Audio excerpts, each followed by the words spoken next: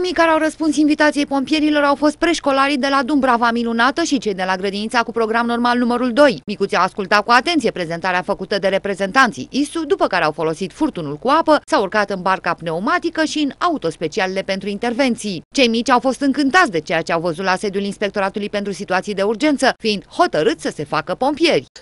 Să vă faceți pompieri? Da! Ce? Și eu vreau! Dar de ce?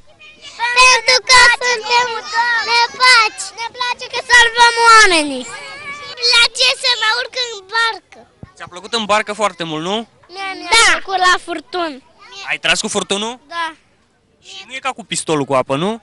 Nu, e mai tare așa. Acțiunea porților deschise de vineri a fost organizată de ISU Vlașca cu ocazia Zilei Internaționale pentru reducerea riscului dezastrelor naturale. Pompierii giurgiuveni le-au transmis celor care vor să urmeze această meserie să învețe, aceasta fiind regula de bază. Cu ocazia porților deschise la pompieri, astăzi sunt prezenți copii din cadrul grădinițelor din municipiul Giurgiu și din județul Giurgiu și suntem bucuroși să-i primim alături de noi, să le arătăm uh, diferite tehnici cu care noi suntem uh, obișnuiți. Le-am prezentat uh, mașinile cu care noi ne facem serviciu zi de zi. În primul rând trebuie să-și termine școala cu rezultate bune și după, dacă se hotărăște să devine pompier, va fi îndrumat de către specialiștii noștri pentru urmarea cursurilor pentru a deveni pompier.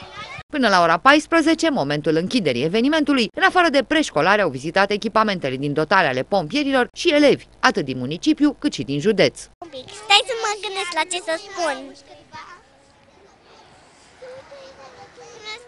Eu, eu o să-mi doresc în fiecare zi să vin aici după barcuța, fiindcă barcuța e moale și amuzantă.